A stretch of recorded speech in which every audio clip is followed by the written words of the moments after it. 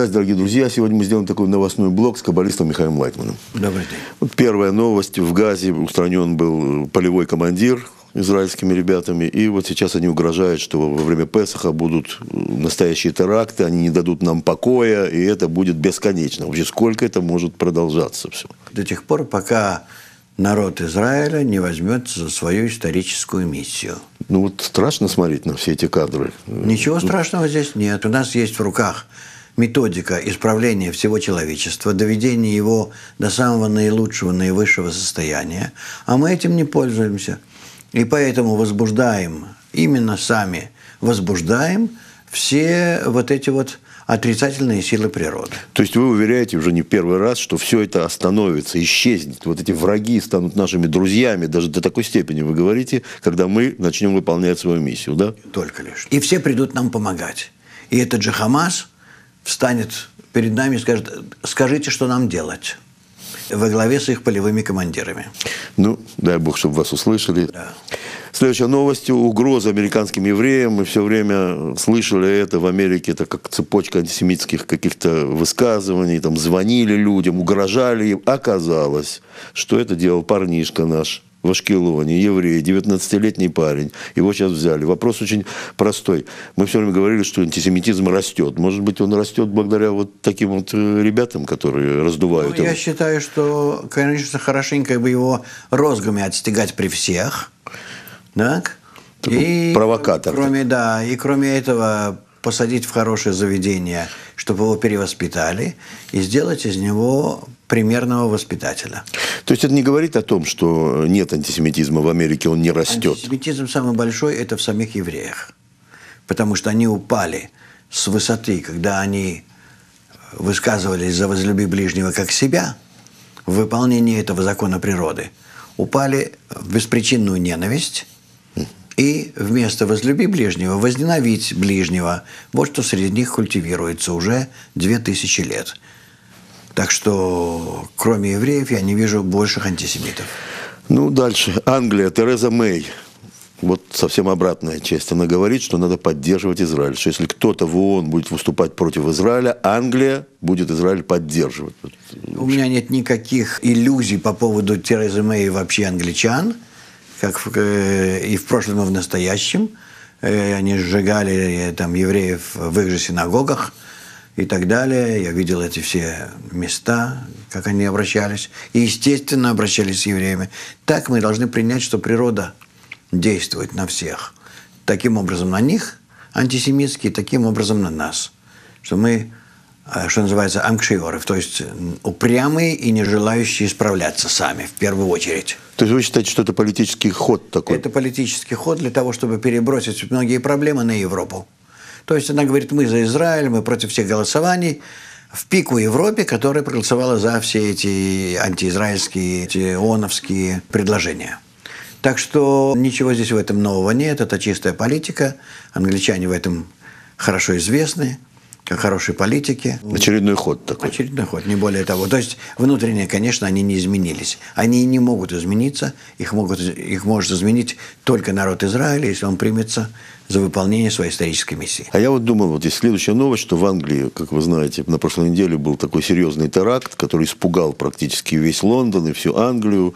Там Хамид Масуд, тот, который родился, родился в Англии, вроде бы уже англичанин. Но он совершил теракт, убил троих, там, напугал, ранил массу людей. Я думал, что, в принципе, из-за этого вдруг Англия стала лучше относиться к Израилю, подумала и поняла. Да, ничего не изменит отношение к Израилю. Ненависть останется ненавистью. Она может проявляться внешне, больше или меньше, но это закон природы. И поэтому его не изменишь. А вот то, что родившиеся там практически люди, ставшие англичанами, И что значит он стал англичанином? родился там. Даже если он принял христианство. Это не имеет значения. Его природа относительно евреев чисто такая ненавистническая, антисемитская, она осталась. Ну, он, в принципе, убил не евреев, он убил там э, граждан. Да, естественно. Потому что ислам должен завоевать весь мир и стать э, действительно, перекрасить весь мир в зеленый цвет. Вот об этом говорится очень интересно. Есть э, в Испании местность, которая э, населена в основном, э, в основном мусульманами. И вот сейчас появились плакаты там в городе. Призывающий мусульман жениться на христианках. И тем самым увеличивать, увеличивать там, количество мусульман, говорят, мы возвращаемся на свою родину. Правильно, потому что Испания когда-то была завоевана мусульманами и долгое время была под их властью. То есть есть такая группа, которая занимается именно этим, огромное количество лайков в Фейсбуке. Согласно исламу, те земли, которые когда-то хоть на какое-то время были исламскими, они обязаны вернуться под ислам. Это в первую очередь, не говоря уже о том, что вообще весь земной шар. Так что я могу вполне их понять. Ну, коронный вопрос, что будет вообще Будет. с Испанией, допустим, например? Да ничего не будет, тоже со всем миром. То есть ислам, он э, покроет весь мир. Будет, конечно, большие проблемы с э, христианством, православием в особенности. Но ничего, справятся, так сказано в Торе. Ну а что с нами, как мы А справимся вот с этим? когда они пойдут против нас, тогда им станет плохо. А все-таки им станет плохо, если никуда не пойдут. А- Но, но, но вначале они завоюют Европу. Понятно. Вот э, дальше об эмигрантах. Э, На прошлой неделе утонуло 240 человек на корабле, который шел в Италию.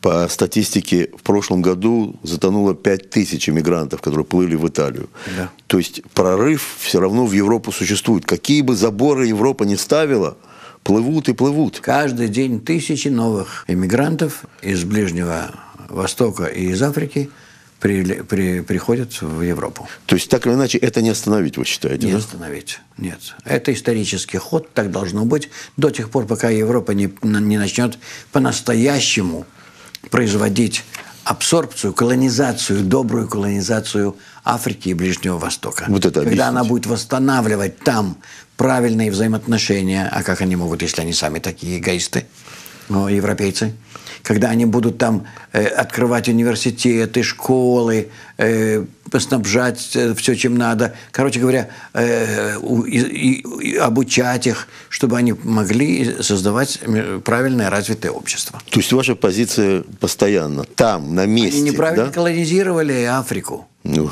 естественно, подавили ее. Да, поэтому сейчас они пожинают эти плоды. То есть вы за другую колонизацию, такое воспитание Только лишь воспитание и обучение на месте. на месте. Для того, чтобы они создали на своих землях, то откуда они и где они вообще должны существовать, чтобы они там создали правильное общество, доброе. И им было бы хорошо, они, бы не- они бы не полезли бы в Европу. То есть вы считаете, можно восстановить разрушенную Сирию, да, Ливию, все это разрушенное Если абсолютно. Запад приложит к этому средства и силы, конечно же, может. То есть Но если он поймет, что именно таким образом надо действовать. То есть практически те средства, которые идут на то, чтобы их адаптировать к местным Это условиям, намного лучше. дороже, чем на месте там, в Сирии. Там это в сто раз минимум дешевле, чем любое действие в Европе. Давайте теперь перейдем к Трампу. К Трампу не очень удается вот последнее отменить закон, например, очень крикливый закон о медицинской страховке был. И Трамп попытался его отменить и не смог. И говорят, что это начинается цепочка его неудач, так это называют. Один в поле не воин, что называется. Так что если против него вся эта бывшая президентская рать, то, конечно, он с ними, не знаю, сможет ли справиться. Хотя у него есть прекрасные побуждения. Но, видишь, не с Россией он боится заикаться о том, что хочет наладить отношения, не с НАТО, то, что он хотел серьезным образом оборвать такую поддержку массивную, сколько тратится на это денег, пускай Европа сама заботится, а она не хочет оплачивать НАТО. Почему американцы должны там зонтик все время свой держать и так далее. То есть, в принципе, проблема политическая. Проблема в том, что его не поддерживают. Что бы ему посоветовать? Американцы просто погрязли в своей внутренней склоке политической, не более того. Никто не принимает в расчет, что хорошо для мира и для Америки, а что хорошо для своих узкопартийных интересов. И поэтому, конечно, его положение незавидное и будущее в тумане. Ну, что бы ему посоветовали, как каббалист? Я бы ему посоветовал бы все-таки собрать всех евреев американских и сказать им, вы хотите, чтобы вам было хуже? Вам будет хуже, если я исчезну. И не думайте, что вам будет лучше. Давайте вместе будем решать эту проблему. То есть вы видите объединение евреев Америки? Спасение Америки и мира только в объединении евреев. И у Трампа есть к этому ключ. Есть все-таки евреи, которые за него, хотя их и немного. В- Основная масса евреев против него, как обычно. Евреи самые большие антисемиты. Я очень надеюсь на то, что можно было бы это сделать, если бы он э, был согласен на это и понимал, что им говорить и как их поддержать. То есть, еще раз, ключ в объединении евреев Америки, ключ Только в спасении Америки и мира практически. Вообще, ключ ко всему – это в объединении евреев. И у него есть такая возможность. Вот следующая Я новость. готов ему помочь. Следующая новость. В Израиле приближается этот день как бы объединения евреев, как бы это день хороших дел это называется. Как вы к такому дню относитесь? Если только од- один день такой, когда мы можем, пересиливая себя, на показуху работать на добро к ближнему, от этого ничего хорошего не будет, а может быть даже хуже. Вот. То есть нам надо осознать, насколько мы эгоисты, и насколько мы можем все-таки обязаны переделать себя, и что существует методика нашего изменения, нашего исправления, нашего перевоспитания. И она существует. И я готов предложить ее и, и показать, что она существует вместе же с нашим происхождением. От Авраама она идет. Так что я очень-очень надеюсь на то, что когда-нибудь евреи нас услышат и объединятся, и дадут пример всему миру, и так весь мир придет к спокойствию. Что эта методика существует, об этом как бы вот буквально три дня назад, в течение трех дней последних вы говорили на конгрессе в Киеве. Вот немножко об этом конгрессе. Я очень хотел бы, чтобы вы сказали, как он прошел. Там были разные люди, разный их народ. Из 20 стран. Причем в Киеве, на Украине. В истории не было более антисемитского народа, чем украинский народ. Даже немцы э, ужасались отношением украинцев к евреям во время Второй мировой войны. Ужасались. С другой стороны, там в течение многих сотен лет была очень большая еврейская община во всей Украине. Оттуда произошло очень много каббалистов. Там, где антисемитизм процветает, и одновременно иудаизм относительно него процветает.